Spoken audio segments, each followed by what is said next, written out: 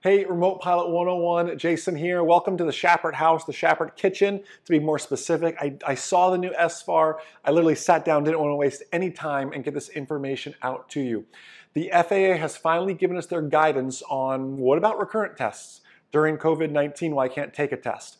Well, they issued something called an SFAR, a special FAR, so a special uh, federal aviation regulation, so an amendment to.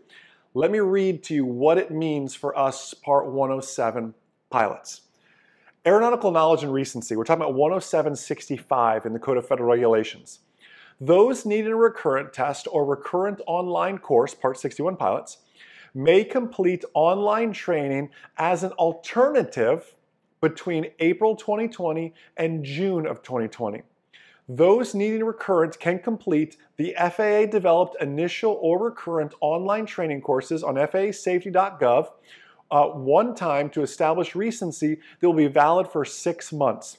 Remote pilots, though, will still need to complete the recurrent test to establish recency of knowledge after six months. So, April to June of 2020, if that is when you were due to take your recurrent test, instead of going to the PSI testing center because it's closed, because you don't feel comfortable, whatever that may be, instead of doing that, you can go online to FAAsafety.gov and you can take their initial or their recurrent drone online course and test. It's really more of a test. You take that, you print out the results, and you're good for six months. However, you still have to take the proctored recurrent test sometime within that six month extension, because after that, you are truly expired. So please keep that in mind. This isn't, a, this isn't how you renew for 24 calendar months, two more years. This just buys you six months. It is free on FAAsafety.gov to take this, this little test. It's hardly any questions. It's very hard to fail. It'll be easy for you to get through. Print it out, save it, add it to your flight kit. Then your six months starts ticking from then.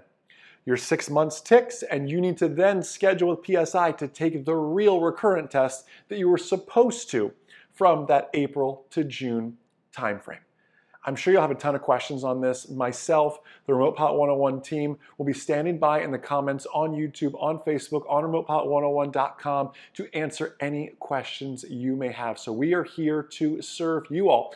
Don't hesitate to reach out, and I'll see you all in next week's video.